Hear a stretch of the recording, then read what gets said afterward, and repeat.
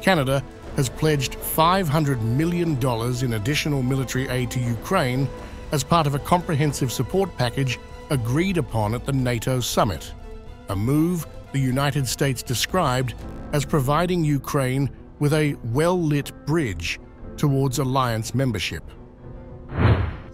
A senior Canadian government official confirmed at the North Atlantic Treaty Organization summit on July 10th that the funds will be disbursed over the next year. Additionally, Canada will assume command of a NATO training program designed to instruct Ukrainian pilots on operating newly delivered F 16 fighter jets. This announcement follows an impassioned appeal from Ukrainian President Volodymyr Zelensky for increased support to counter the Russian invasion. With the potential return of former US President Donald Trump, known for his isolationist policies, looming in the upcoming US presidential election, Zelensky called on NATO members to step out of the shadows and make stronger decisions before the November vote. Even, even the anniversary NATO summit, which should become a top event, does not indeed look strong in the media in contrast to what is expected from November. It seems that people do not even notice that NATO has expanded by two new countries at once. And this is a historic event, but it is in the shadows of another story. It's time to sit out, to step out of the shadows, to make strong decisions work, to act and not to wait for November or any other month to this end. We must be strong and uncompromising all together. Canada's commitment is part of a larger $59 billion aid package pledged by NATO's 32 members, which the White House stated would be delivered within the next year.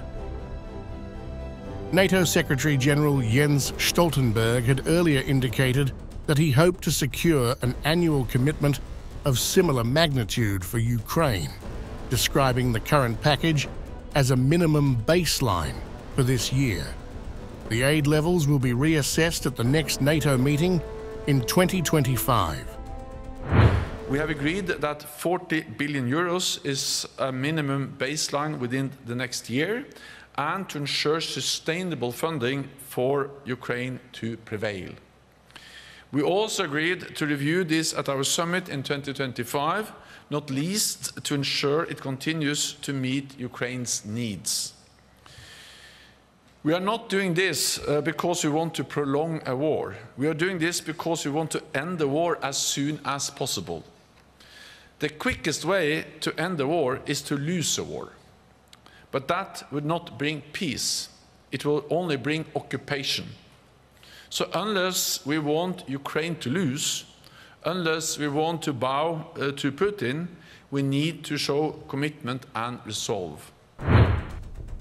Canada has faced criticism for not meeting NATO's benchmark for defence spending, which stipulates that member nations allocate at least 2% of their gross domestic product, GDP, to military expenditures.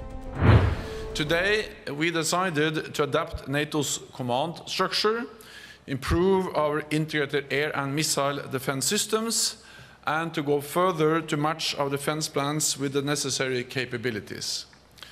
All of this has, has been made possible by historic increases in defense investment across the alliance. When we made the pledge uh, to invest 2% of GDP uh, in defense back uh, in um, 2014 at the NATO summit, only three allies met the mark. Today, 23 allies are investing at least 2% of GDP in defense, a record high number. This also brings the total defense spending of European allies and Canada above the 2% target. So we have delivered. Reports indicated that the Liberal government was still formulating a timeline to achieve this target. A government official noted that Prime Minister Justin Trudeau's administration would provide additional details on Thursday, the summit's closing day. Politico reported on July 10th that US Senator Roger Wicker raised concerns about Canada's defence spending during a meeting with Trudeau. Wicker indicated that Trudeau promised a timeline to reach the 2% target within a decade, though the Prime Minister's office did not confirm this claim. The newly committed funds for Ukraine will contribute towards meeting this spending goal, according to the government official. Ottawa has asserted that it will inevitably meet the target through planned acquisitions of military equipment, including up to 12 submarines, for which a procurement process was initiated on July 10th.